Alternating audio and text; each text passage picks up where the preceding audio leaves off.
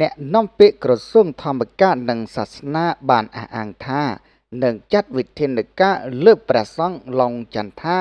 ដែលឆាត់ញ៉ាយស្រី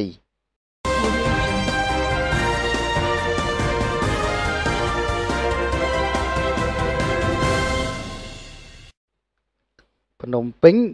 មានការបាច់ ឃ្លេឃ្លីបវីដេអូមួយបង្ហាញពីសកម្មភាពប្រសង់ឡងចន្ទថាឆាតញ៉ាយស្រីផ្អើលពេញបណ្ដាញសង្គម Facebook បណ្ដាលឲ្យពុទ្ធបរិស័ទដែលគោរពប្រតិបត្តិតាមព្រះពុទ្ធសាសនា មានការខឹងសម្បាជាខ្លាំងបញ្ហានេះលោកសេងមុននេះអ្នកនាំពាក្យក្រសួងធម្មការនិងសាសនា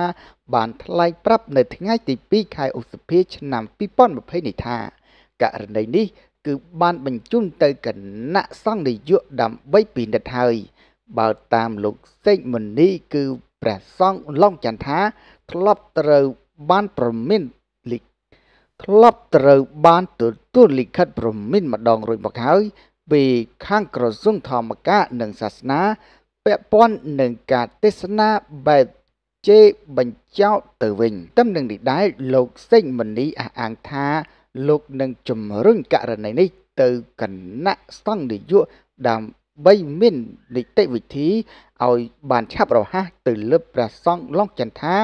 កុំឲ្យប៉ះពាល់ដល់សាសនាដ៏ល្អប្រពៃដែលប្រជាជនទូទាំងប្រទេសគោរពប្រតិបត្តិនោះ។